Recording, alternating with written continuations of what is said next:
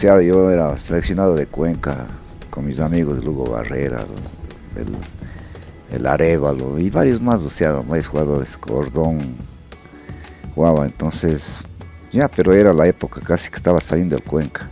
Sí, jugaba fútbol bastante y últimamente me, me dediqué a jugar Rindor. Un corazón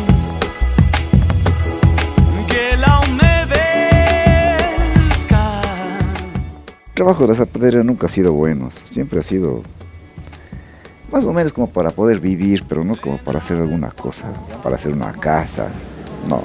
Digamos ahora pues, hay mucha, mucha fábrica, ya no hay, o sea, obreros así como yo que trabajamos a mano. Y ahorita es puras fábricas más. Por eso ha decaído bastante la zapatería por, las fábricas que todo. Y yo les hago bien hecho porque yo trabajo en zapato fino. Yo sé todo cómo es de arreglar un zapato. Como usted vea, es obra fina esto. Ya. Yo los zapatos no les hago mal hecho las composturas. Claro.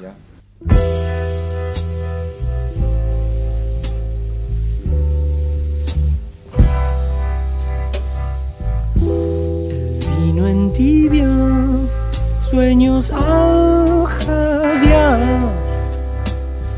Desde su boca, de verdeado dulzor.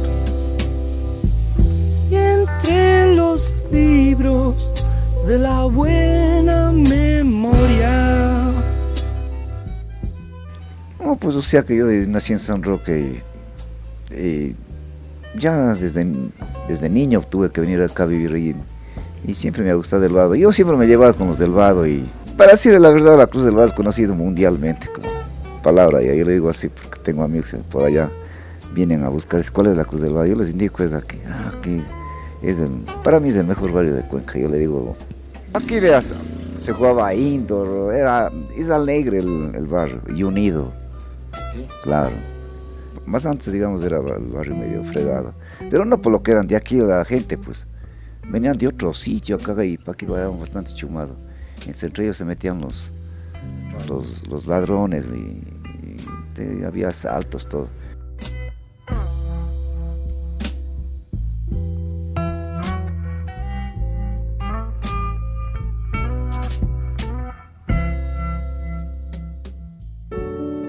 Sé que también hay una fundación atrás suyo, me contaba que por lo general usted va, visita, almuerza allá. Cuénteme un poco sobre esto. ¿Por qué, ¿Por qué hacerlo esto y por qué no va a su casa directamente? No, o sea que es un comedor que prácticamente, o sea, eh, come bastante gente ahí de la tercera edad. Y es una comida excelente, le voy a decir. Entonces... ¿Y en su casa?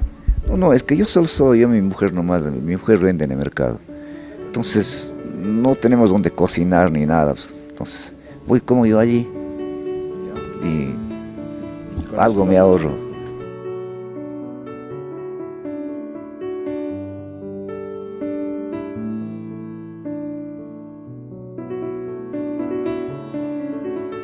¿Por qué a los 70 años usted no está en su casa descansando y más bien eh, se pone a trabajar? ¿Es esto digno de destacar? Digo, como, como ejemplo para muchos jóvenes que a veces eh, creen que a sus 20 años, a sus 25 años tienen todo perdido cuando creo que tienen mucho por ganar. A esos jóvenes, ¿qué les diría usted?